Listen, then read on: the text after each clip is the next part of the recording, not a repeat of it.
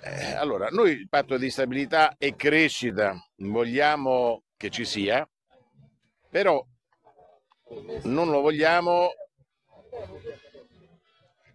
come un patto che sia non di crescita e che sia penalizzante per l'Italia o che sia un patto che noi non possiamo rispettare. È una questione anche di serietà e di credibilità.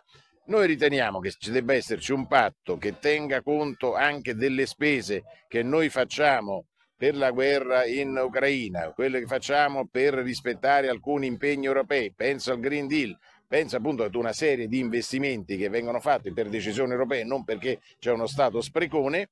C'è un problema che riguarda anche i tassi di interesse, cioè quello che si paga sul eh, debito e se la Banca Centrale Europea passerà finalmente il tasso di interesse come noi chiediamo da mesi perché è giusto agevolare le famiglie, è giusto agevolare le imprese perché il costo del denaro è eccessivo, a maggior ragione oggi che c'è stata un, eh, una forte riduzione della eh.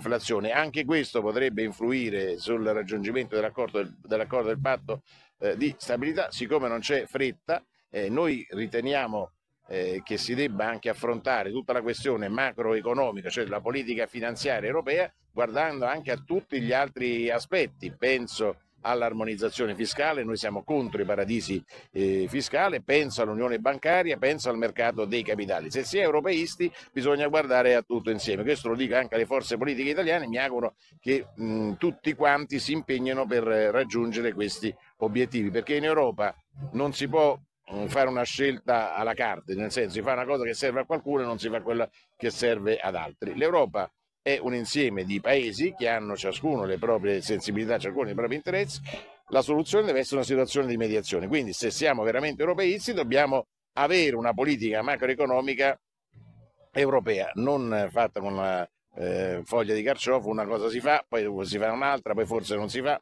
Questo non va bene e io credo che sia nostro dovere tutelare l'interesse dell'Italia in un contesto europeo.